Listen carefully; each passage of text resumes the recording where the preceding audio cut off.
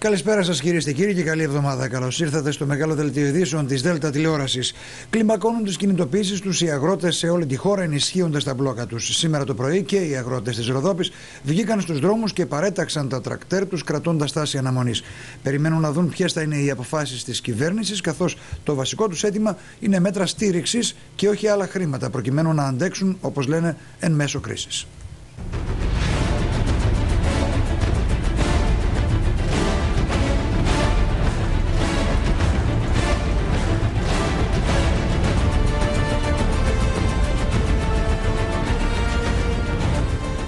Στον κόμβο της Νέας Καλή στη Ροδόπη δίνουν από σήμερα και για όσο πάει οι αγρότες της περιοχής ραντεβού, καλώντας όλους τους παραγωγούς του νομού να συστρατευτούν και να ενώσουν τις δυνάμεις τους απέναντι στις αποφάσεις της κυβέρνησης. Αποφάσεις που, όπως είπαν, τους στέλνουν στα τάρταρα. Η μόνη λύση είναι να κινητοποιηθούν και να διεκδικήσουν ένα καλύτερο αύριο. Αποφασίσαμε μαζί με τους αγρότες της γύρω περιοχής να κάνουμε την προσυγκέντρωση την οποία κάναμε από τα εχθές μέσα στο χωριό και με τα γύρω τα χωριά και τώρα αποφασίσαμε να βγούμε στον δρόμο.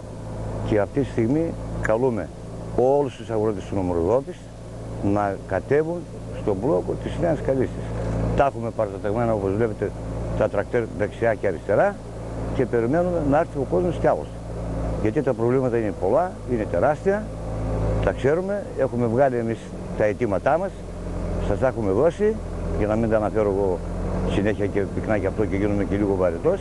Αλλά το εκείνο που θέλουμε είναι να και καλούμε τώρα από εδώ από τα κανάλια σας να, τον κόσμο να συμμετέχει, να πάρει τα τρακτέρ του και να βγει στον δρόμο. Έχουν παρατάξει τα τρακτέρ τους στον δρόμο και προς το παρόν κρατούν στάση αναμονής για το τι μέλη γενέστε. Όλα θα αποφασιστούν από τη στάση της κυβέρνησης. Η αγροτιά πεθαίνει, λένε, και για να αναστηθεί χρειάζονται ριζοσπαστικές λύσεις. Τα προβλήματα που αντιμετωπίζουν είναι πολλά. Καταλαβαίνουν τη δυσκολία των συνθήκων, γι' αυτό και κυρίως ζητούν μέτρα στήριξης και ανακούφισης και όχι χρήματα. Βγαίνουμε στον δρόμο για να αναδείξουμε ότι πράγματι ο αγροτικός κόσμος έχει πρόβλημα επιβίωσης.